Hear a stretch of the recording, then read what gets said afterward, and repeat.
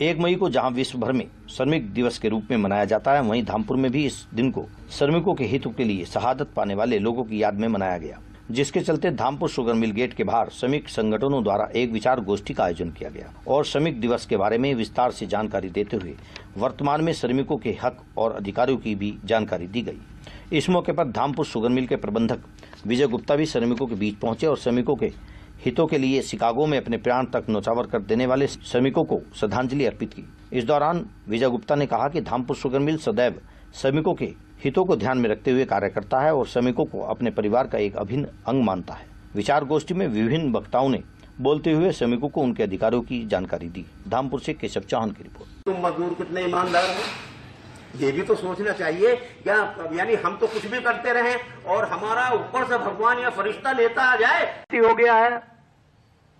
अपना वक्त जाया नहीं करना चाहता। आज मजदूर की स्थिति यह है हमने शुगर के मजदूरों को ज़्यादा देखा।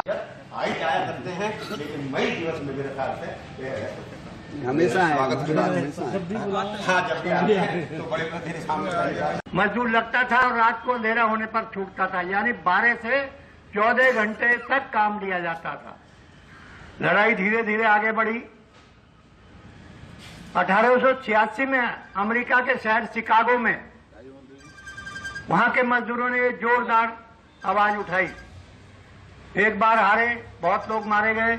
उसके बाद फिर हज़ारों की तादाद में इकट्ठे हुए और ज़बरदस्त आंदोलन किया।